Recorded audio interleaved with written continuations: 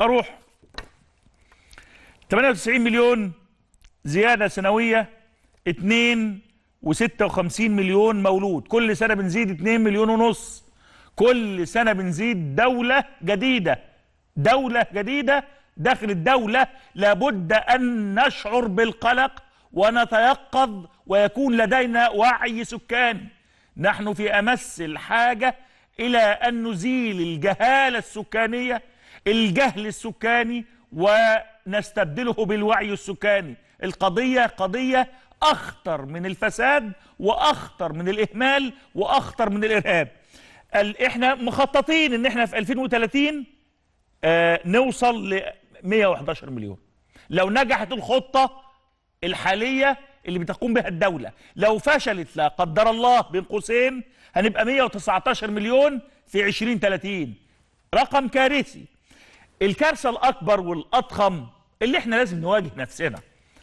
نسبة الفقر نسبة الفقر في 2008 كانت 22% من عدد السكان. نسبة الفقر ارتفعت في 2015 ل 28% بنزيد كل سنة 2.5 مليون.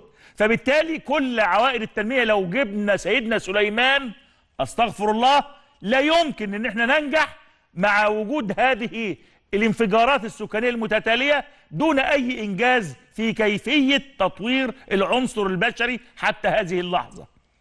عندي 50% نسبة فقر 50% من عدد السكان نسبة فقر في محافظات المنيا وأسيوط وسوهاج وقنا. اللي الدولة بتعمل خطوات دلوقتي لإنقاذ ما يمكن إنقاذه وفق خطة تنموية مستدامة.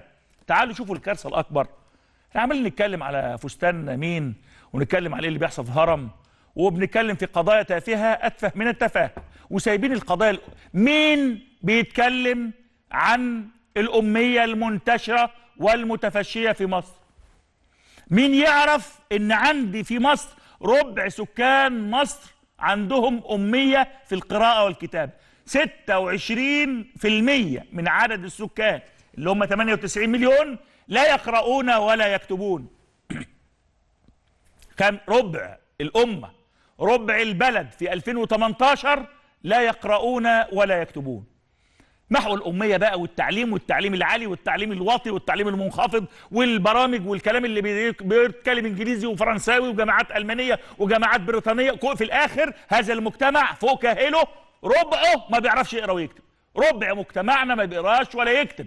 دي كارثة. شوفوا المصيبة الأكبر. 31% من الإناث ما بيعرفش يقرأوا ويكتبوا اللي هم أمهات الم- المستقبل. اللي هم بيربوا الأولاد. تخيل تلت ال ال السيدات المصريات ما بيعرفوش يقروا ويكتبوا دي أرقام حقيقية مش من عندي.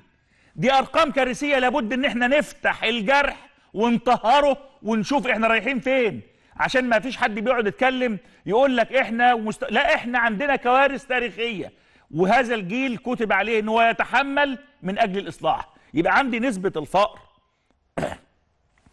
وصلت لأرقام بتخض 28% نسبة الأمية 26% ولو أنت تلاحظ هتلاقي الأمية والفقر في علاقة طردية. لسه ملاحظها دلوقتي والله. يعني نسبة الأمية عندي نسبة الأمية عندي 26% ربع المجتمع نسبة الفقر اتنين- 28% تقريبا نفس النسبة. يعني في علاقة وطيدة وطردية بين الفقر وبين الأمية. كلما كان هناك جهلا وأمية كلما كان هناك فقرا ومن ثم كان هناك نسبة مرض. علاقة بين هذا المثلث المرعب. عندي 6 مليون مصري متسرب من التعليم. 6 مليون مصري من الطلاب ولادنا بيخشوا التعليم ويهربوا من المدارس ويتسربوا يبقوا أطفال شوارع أو عمالة أطفال أو غير. 6 مليون عدد سكان دول مجاورة لينا. 6 مليون. الكارثة بقى لم يتلقى تعليما 23 مليون مواطن مصري. ما لسه بقول فوق أهو 26 أمية. 23 مليون مواطن مصري ما عندهمش فرصة تعليم. عماله الأطفال 3% الحاجة الحلوة اللي إحنا فالحين فيها بس الخصوبة.